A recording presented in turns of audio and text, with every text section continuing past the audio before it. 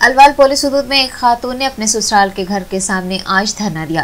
तफसीलात के मुताबिक श्रीलता रेड्डी नामी खातून की शादी साल 2012 में संदीप से हुई थी और जहेज में 40 लाख रुपए और 30 तोले सोना लेने के बावजूद शोहर और ससुराली अफराद उस पर जुल्म व ज्यादती कर रहे थे। श्रीलता ने मकान के रूबरू धरना दिया। उसने मीडिया को बताया कि जहेज के मुतालबात पूरे करने के बावजूद उसे हरासानी का सामना है। उसका ये भी कहना है कि उसे मायके भेज दिया गया है और वो पिछले 10 सालों से मायके में ही रह रही है। उसने इल्जाम लगाया कि शोहर की जानब से उसे कोई खर्च भी नहीं दिया जा रहा है श्रीलता ने उसके साथ इंसाफ करने की मांग की है నా పేరు శ్రీలత అండి నన్ను పెళ్లి చేసుకున్నాడు ఆ, సందీప్ రెడ్డి మామిడి సందీప్ రెడ్డి పెళ్లి చేసుకున్నాడు two thousand twelve April twenty ఫిఫ్త్కి marriage అయ్యింది సో నేను మా అత్తగారింటికి వచ్చాను టెన్ డేస్ అయ్యింది ఆ, అన్ని గలీజ్ మాటలు అన్నీ అదే వాళ్ళ డాడీకి చెప్పడం వాళ్ళ మమ్మీ డాడీకి చెప్పడం ప్రతి ఒక్క విషయము అన్నీ బెడ్రూమ్లో జరిగేటివి అన్నీ ఇక చెప్పడం వాళ్ళ మమ్మీ డాడీకి. ఒకసారి గలీజ్ మాటలు తిట్టేసరికి నేను నన్ను గెంటేశారు బయటికి. నేను మా ఇంటికి వచ్చేసాను. ఇంకా అప్పటి నుంచి నన్ను తీసుకుంటలేరండి. అసలు మా తీసుకుంటలే నేను ఎప్పుడు మాట్లాడుతూనే ఉన్నాను ప్రతిసారి అడుగుతూనే ఉన్నాను. పెళ్ళి చేసుకున్నావు ఎందుకు ఇలా చేస్తున్నావు అని చెప్పినా కానీ తను ఎప్పుడు తిట్టడము అసలు మాట్లాడేవాడు కాదు. సో నా ఫోన్స్ అన్నీ స్విచ్ అదే బ్లాక్ చేసి పెట్టేవాడు అనమాట ఎవరితో మాట్లాడిచ్చేవాళ్ళు? తను ఒక్కడే అండి వాళ్ళ సిస్టర్స్ ఉన్నారు ఇద్దరు సిస్టర్స్ ఉన్నారు.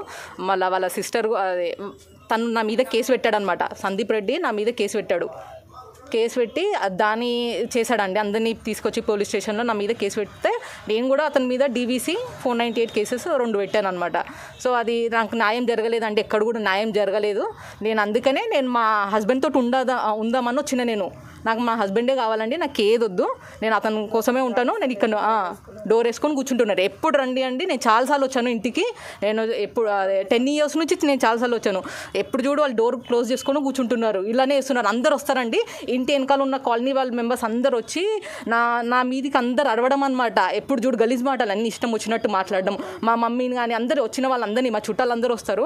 సో నేను ఎక్కువ మంది కాదండి. ఒక ఫైవ్ మెంబర్స్ అలా వచ్చినా కానీ డోర్ క్లోజ్ చేసుకొని అందరినీ ఫార్టీ మెంబర్స్ని తీసుకొస్తాడండి. వెనకాల కాలనీ వాళ్ళందరినీ తీసుకొచ్చి మళ్ళీ డోర్ క్లోజ్ చేసుకొని మీరు చూస్తే వెనకాల కూడా ఒక వాళ్ళందరు కాలనీ మెంబర్స్ ఉన్నారండి. వాళ్ళని కూడా చూస్తే కూడా మీకు తెలుస్తుంది. ఇప్పుడు వచ్చి వాళ్ళందరినీ పంపించేశాడు. అట్లా చేస్తున్నాడు. నాకు ఏం లేదండి. నాకు న్యాయం జరగాలి. నాకు నా హస్బెండే కావాలి. నాకు ఇంకేం వద్దండి. నేను అంతే. నేను అతనితో ఉండాలని అనుకుంటున్నాను. అతన్ని ఎప్పటి నుంచి అడుగుతున్నా నేను నీతోటే ఉంటా అంటే తను ఏం చెప్పట్లేడు. నేను అందుకని ఇంటికి వచ్చి ఇక్కడ కూర్చున్నాను. నాకు ఎవ్వరు లేరండి. మా డాడీ లేరు. మా మమ్మీ ఒక్కతే ఉన్నా. నేను మా మమ్మీతోటే ఉంటున్నాను. మా మమ్మీ ఎన్ని రోజులు చూసుకుంటుంది? నేను అడిగేది అది. నాకు కూడా ఉండాలి కదా నాకేం లేదండి నేను నేను ఏం చేయట్లేను నేను ఖాళీగానే ఉన్నాను అందుకనే అంటున్నాను. నా- నాకు మా- మా హస్బెండ్ తోటి ఉందామని వచ్చాను అంతే.